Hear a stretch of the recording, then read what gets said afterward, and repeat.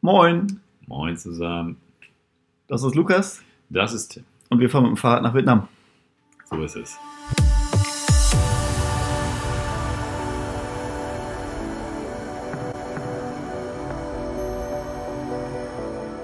Starten tun wir am äh, 1. Mai in Münster und fahren dann äh, kontinuierlich nach Hanoi, also nach Vietnam. Ähm, erste Tag ist aber selbstverständlich über Paderborn. Ähm, Weltmetropole. Weltmetropole und Ursprung unseres seltsamen Fahrradfahr-Dings. Das war so ein Pfingsttrip. Unsere allererste Tour ging nach Paderborn. Ich habe da studiert und wir dachten, wir gucken mal, wie weit man so Fahrrad fahren kann. Geht. Bis nach Paderborn geht. Dann fahren wir nach Berlin, ähm, Warschau. Dann nach Litauen, wo wir überhaupt gar nicht wissen, was es da so gibt. Hunde, wilde Hunde, glaube ich. Wilde Hunde Also wahrscheinlich? Fiese Hunde. Vilnius heißt, glaube ich, die Hauptstadt. Da korrekt. wollen wir kurz sein. Dann geht es weiter nach Lettland. Dann nach Russland. Genau. Ähm, von Russland dann weiter nach Kasachstan, Und dann kommt noch China. China. Das ist ja ein kleines, beschauliches Land, da fährt man. Da reisen wir durch, sind wir fast Gut. da und dann sind wir in Vietnam. So ist die Idee. Das ist die Idee. Wir werden jeden Tag mit dem Fahrrad fahren. Wir haben Zelte dabei. Werden campen wahrscheinlich relativ oft. Lukas kommt damit nicht ganz klar. Nee, Campen ist lustig. Äh, wir haben zwei separate Zelte. Ja. Haben das vorher schon mal ein paar Mal gemacht in Frankreich für zwei Wochen. Italien auch mal. Habt ihr ja im letzten Video gesehen. Äh, es waren immer kleinere Touren ähm, von knapp 1000, 1200 Kilometern. Diesmal werden es 12.000 und da haben wir uns gedacht, wir machen da mal ein kleines, besonderes ähm, Ereignis raus. Ähm, und zwar kann man ähm, über eine Crowdfunding-Plattform für diese Aktion ein bisschen Geld spenden. Ähm, sind wir ganz ehrlich, 30% gehen an uns. Ähm, einfach davor, darum, dass wir, da geht es darum, dass wir abends war- mal ein Bett haben oder ein warmes Essen. Ähm, es wird auch ganz bestimmt ähm, unvorhersehbare Reisekosten geben, was auch immer passieren wird.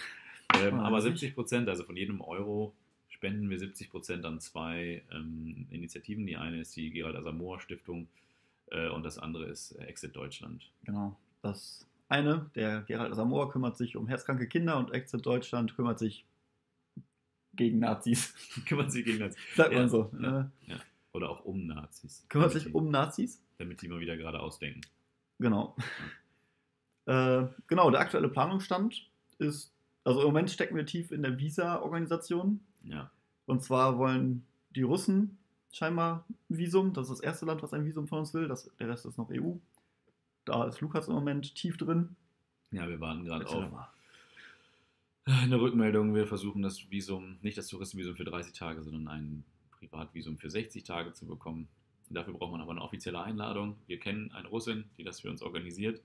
Ähm, Und jetzt warten wir gerade auf die offizielle Einladung vom Ministerium in Russland, dass die uns zugeschickt wird.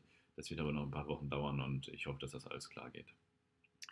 Genau. Dann ist das nächste Land Kasachstan. Da haben wir festgestellt, dass man gar kein Visum braucht als äh, deutscher Staatsbürger. Manche andere auch nicht. Das ist ganz gut. Äh, ist halt dann auch für 30 Tage. Wir dachten eine kurze Zeit lang, dass man mit einem Visum ein längeres Visum, dass man mit einem Visum eine längere Zeit dort verbringen kann. Ah, Äh, kann man nicht. Also, außer man nimmt ein Business-Visum. Wir haben kein Business, deshalb geht das für uns nicht. Also haben wir 30 Tage Zeit, um die zweieinhalbtausend Kilometer durch Kasachstan zu fahren. Boah, machen wir dann halt, ne? ja. Und dann rollen wir nach China. China, die sind nicht ganz so abgefahren wie die Russen, aber auch ein bisschen. Anders. Anders, Anders. abgefahren. Man kriegt ein Touristenvisum für 30 Tage, ähm, gar nicht so schwer, aber man muss dann jeden Tag nachweisen, wo man sich aufenthalten, äh, aufenthalten wird und ähm, aufhalten wird. wo, man sich, wo man sich aufhalten wird. Ähm, Können wir nicht? können wir nicht. Es ist Wir fahren halt jeden Tag. 30 Tage Ja. dann irgendwelche Hotels zu buchen. Ähm, wir haben aber Gott sei Dank einen Kumpel in China, der uns einladen kann. Ähm, und da kriegen wir jetzt ein Visum für 59 Tage. Den Brief haben wir Gott sei Dank schon. Ähm, und ähm, ja, dann haben wir 59 Tage, 5000 Kilometer. Wird sportlich, weil da auch noch ein, zwei ähm, Hügel auf uns warten.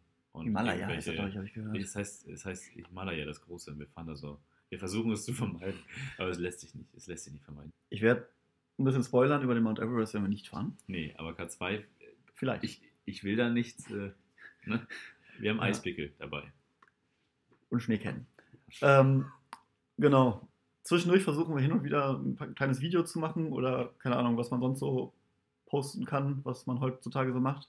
Und ein bisschen zu erzählen, was wir so für verrückte Sachen erleben oder was uns kaputt geht oder was uns für blöde Sachen passieren. Oder wenn uns langweilig ist, erzählen wir wahrscheinlich auch irgendwas. Oder wenn wir fluchen. Oder wenn wir fluchen.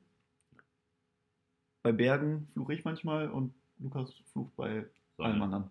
Äh, genau. Das ist es eigentlich schon. Am 1. Mai, wenn wir starten, haben wir gleich am Anfang gesagt. Dann werden wir uns wahrscheinlich relativ zeitig nochmal mit irgendwas melden. Spätestens aus Paderborn. Da gibt es wahrscheinlich schon eine Menge zu berichten. Selbstverständlich. Und im Oktober sind wir dann hoffentlich in Vietnam. Genau. In diesem Sinne, Prost. bis dann.